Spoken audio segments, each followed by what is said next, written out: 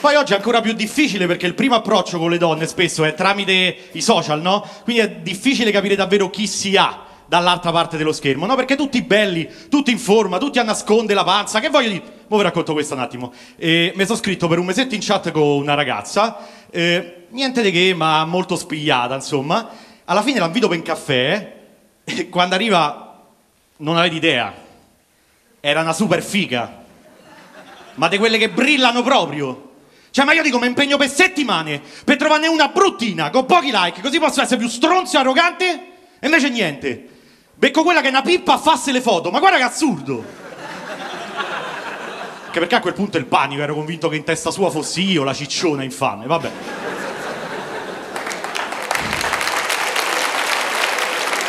Non vi dico come è andata a finire, non vi dico come è andata a finire. Vabbè, che abbiamo scopato e non gli è piaciuto, era pure facile, pure facile.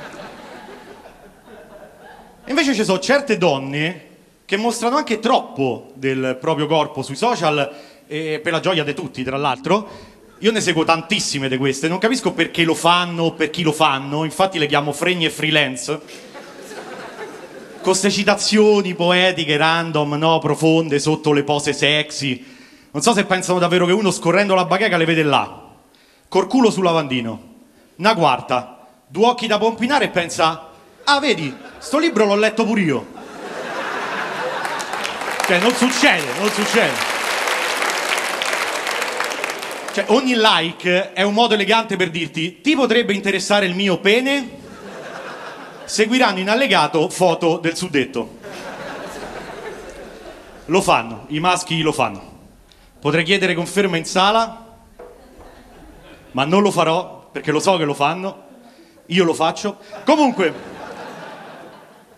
se ci pensate fino a qualche anno fa era una pratica impensabile, no? O se volevi farlo dovevi farlo per posta, cioè c'aveva tutta un'altra valenza. Innanzitutto dovevi comprare busta e francobollo. Scattate una foto e aveci una Polaroid, perché non è che poi portare a sviluppare le foto del cazzo.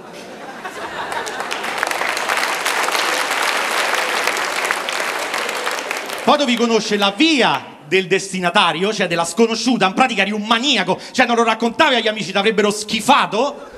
Poi dovevi imbustare e spedì uscendo di casa. Cioè che non c'è cosa più vintage, uscì di casa, ma che siete matti? Ma che era il 2008, eh, uscì di casa.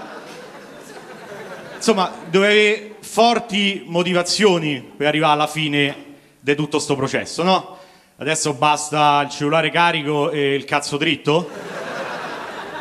Perché il cazzo va mandato dritto, eh ragazzi? Non sbagliamo.